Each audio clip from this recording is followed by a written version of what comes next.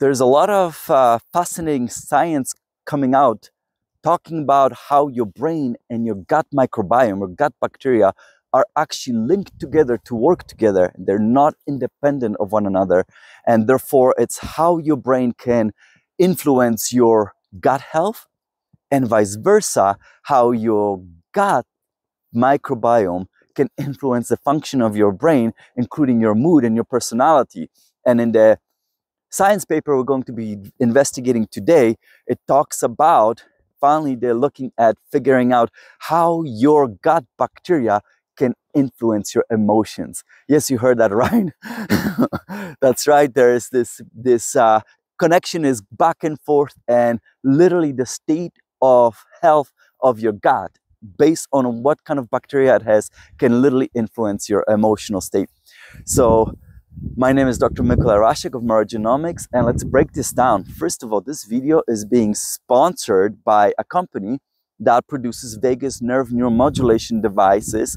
Why? Because this link we're talking about is via vagus nerve. And I've been doing a lot of videos on how to modulate the function of the vagus nerve, right? But I can also get to make videos that talk about the biology of vagus nerve, and this is a perfect example. Just what we're continuously discovering about how important the vagus nerve is for your well-being, your health. So, and by the way, there's a link in the description below if you're interested in such a device. This device is uh, certified for medical use in, on the European market. If you're interested in such a device, there's a link in the description where you can get a discount for it.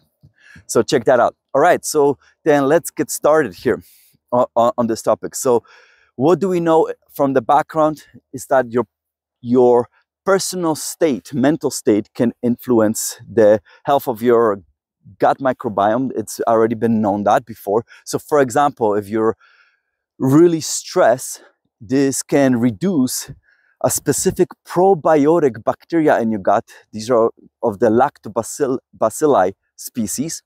And as a consequence, your gut microbiome is not going to be healthy. That's called dysbiosis. And when that happens, basically you provide the opportunity for pathogenic, opportunistic pathogens to come and infect you. So not a good state. We do know that mucus is also involved in this process. And the reason why is because same idea, if you get really stressed, it's known that mucus level can be reduced, that, it, that your body will produce, will be reduced. And again, that can lead to these opportunistic infections. So, and it's also known that that uh, the opposite is true. If you say reduce your stress level, something that vagus nerve neuromodulation is very effective at, you can restore that probiotic bacteria and you can restore gut health as well. All right, so then, but exactly how the brain affects the microbiome, meaning your bacteria composition in the gut via this mucus release, is not fully understood. And this is what the authors of, of this study wanted to figure it out. They wanted to get more background information on this. And uh, let's break it down as to what they what they did. so then let's talk about a little bit about the mucus. What is mucus? Mucus is basically this gooey substance that can be produced by your body that covers your both your small and large intestines. And it's like a barrier between your body, your tissue, and the bacteria. Now, this mucus is produced by special glands, which are, I think they're called Brunner's glands. They're either way, they're they are positioned in your duodenum, which is which is uh, part of your small intestines that that is present right after the stomach, and that's where the mucus gets produced, and and then it ends up covering your small and large in, intestines. And of course, these glands that produce the mucus, they are innervated by nerves, and that includes the vagus nerve. So all the studies that the authors did were on mice. And I gotta tell, tell you, trigger warning, because whenever scientists do experiments on mice, you have to understand that eventually these mice are euthanized because uh, of the fact that complicated things are being done to them. And that's just the unfortunate part, but that's how we also understand biology. And the reason why mice are so frequently used in science is because it allows scientists to to genetically engineer mice. So you can so many mice that, that are used in experiments are literally specific genetic constructs and they're genetically engineered to have specific genes. So let me give you an example because they use some incredible, absolutely stunning, stunning experiments in in um, in this study that is shows you how sometimes how scientists have to be super imaginative in order to to figure out how to support the hypothesis they have. And this is perfect example. So they use mice that were genetically engineered to have a special bacteria protein present inside their specific tissue. So basically what it meant is that these mice were genetically engineered in such a way that this bacteria protein was was being produced only by cholinergic nerves. Cholinergic nerves are the nerves that are involved in the in uh, the parasympathetic system, nervous system, so the vagus nerve, so the ones that relaxes you, some of the some of the sympathetic system as well, so the one that's fight or flight response, and the nerves that control your muscle movements. Why? Because these cholinergic nerves use acetylcholine as a neurotransmitter to exact their functions, okay? So they engineered mice, or they were using mice that were engineered genetically in such a way that all of these nerves, cholinergic nerves, were producing this specific bacterial protein called Cre recombinase. And what this specific bacterial protein, think of a tiny little robot tiny little molecular robot was doing is it can manipulate genetic information. So it cuts and splice specific uh, genetic information.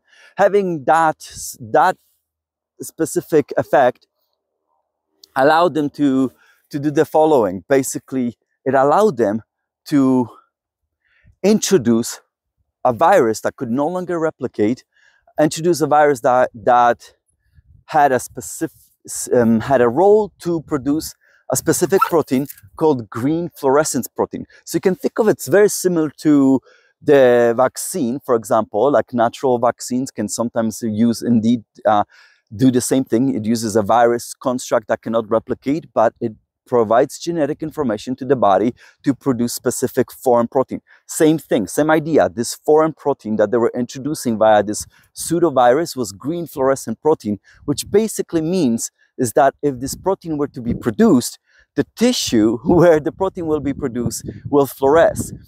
And this allows the scientists to track exactly where this virus spreads throughout the body because the body will literally fluoresce green color. Absolutely stunning, right? And the way that they could track this is because when they, in, they what they did is they took that pseudovirus with the genetic information for this fluorescent protein and they literally injected it into area of the brain midbrain that gives birth to the vagus nerve tentacles that go descend down to the body. Check out one of my past videos where i explain exactly the anatomy of the vagus nerve and how that's all distributed. So they injected that pseudovirus and then that pseudovirus started to spread through the vagus nerve. And remember the these vagus nerve had this bacterial protein that was able to manipulate the virus genetic information and only after that manipulation could the fluorescent protein be produced and they were able to track it. And in this way they were able to show that those glands that produce mucus they were able to literally show through green fluorescence how the vagus tentacles end up right there uh, in that in those around those glands. Absolutely amazing. The reason why i tell you all this is because this will be important to another experiment that they also they also did. So that's one thing. Then they wanted to know okay how do we control and learn more about this entire system? And they use this hormone pro-digestive hormone which by the way is also controlled by the vagus nerve. And they fed it to these mice and what they were able to observe that once these mice ha had access to this pro-digestive hormone, then the level of that lactobacilli probiotic bacteria increase in both small and large intestine as well as in the poop of mice. So that's good. That means these mice were obviously their gut microbiome was being healthy. But they also used genetic mice that were constructed in such a way that if you give him this specific chemical to eat, it resulted in self-destruction of those specific glands that produce the mucus. So literally, they were they were they're just not there anymore. So that means such mice would no longer be able to produce mucus. And this, when they did that, and they used such mice with no glands anymore, and they fed them this pro pro-digestive hormone. After that, these mice were no longer no longer showing increase in that probiotic lactobacilli bacteria. In fact, the opposite was happening. These mice were now suddenly showing increase in pathogenic bacteria. And these mice were also showing that their spleen, spleens, which are important for your immune system, were also uh, starting to appear abnormal. Their morphology was not normal. And these mice were suddenly dramatically more prone to die.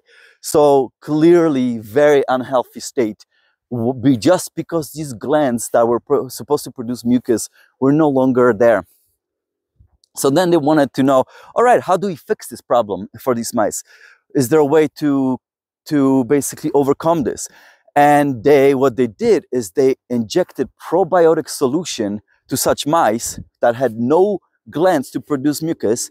They injected probiotic solution straight to their intestines large intestine and that solved everything all of the problems that spleen morphology that was abnormal that went back to normal they no longer had opportunistic infections they had normal body weight and they were not dying like crazy so they were able to solve this but here is the cool cool experiment that they did now in reverse to the one i was telling you about a moment ago where they remember with that fluorescent tracking system that allowed these authors to track fluorescence amongst uh, different tissues, expressing these nerve cells expressing that specific bacterial protein. Well, they did that in reverse. Instead of injecting the pseudovirus that would allow to track the the vagus nerve from the brain to the to the small intestine where the mucus glands were, they did it in reverse. They injected such a pseudovirus into the glands themselves. And this allowed them now to track the vagus nerve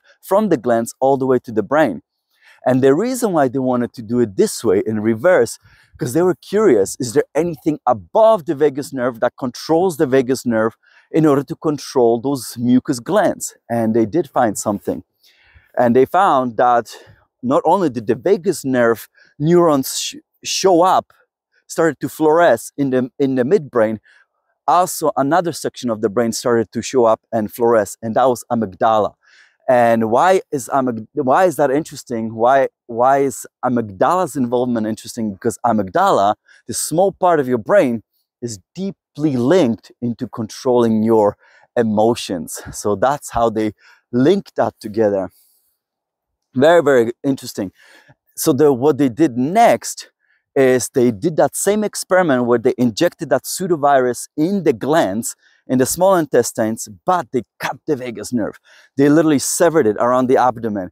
And guess what? It no longer, not only was not showing the lighting up of the vagus neurons in the brain, amygdala was also not showing up anymore. You could not have that fluorescence inside the amygdala. So by severing, literally cutting the vagus nerve, they also severed the connection between those mucus glands themselves and, and, uh, and the amygdala. So why is this interesting, amygdala? Because amygdala is, as I mentioned, linked to controlling your emotions, but especially specifically your emotion of of fear and anxiety. So, so uh, why that's interesting? Because we do know that vagus nerve neuromodulation is especially powerful at helping you deal with anxiety or depression symptoms. And now we're learning that it's the amygdala via vagus nerve that could be control mucus release in your gut and therefore control the proper health of your of your gut microbiome. So very, very interesting link. And it was, uh, so this could be an, such a fascinating way of how proper vagus nerve function could be restoring your health. And uh, also from the past, it's been known that one of the ways that vagus nerve neuromodulation or how vagus nerve itself influences that probiotic lactobacilli presence in the gut is by increasing or not increasing affecting level of the specific specific um, neurotransmitter called GABA and the reason why that's interesting because GABA neurotransmitter also happens to be the one that is especially used in amygdala. So you can see how the, you're learning these new links that all starting to fall into place. Very, very interesting. And I'll end it with the last comment on this topic, which I also thought was fascinating, is that apparently amygdala is not just linked to these emotions I mentioned, especially like like the fear, conditioned fear and anxiety, but apparently it's also involved in controlling your hunting, predatory hunting instinct. So I thought it was interesting. Mm, I wonder how does the vagus nerve work in terms of affecting that instinct. So all right, that's it uh, I have for you today in this video. I, there's lots of fantastic science right now showing you how the brain and the gut are are linked together. They are not independent of one another. This is so fascinating. They work together and influence each other at the same time via the vagus nerve. So uh, we are discovering lots of cool information and uh, I've been really enjoying studying studying that information when it comes to how important vagus nerve is in controlling your gut health as well as as, as well as your mental health because of the connection between the two. All right, that's that. I'm gonna wrap it up right there, and I look forward to seeing you in another installment. Bye, everyone.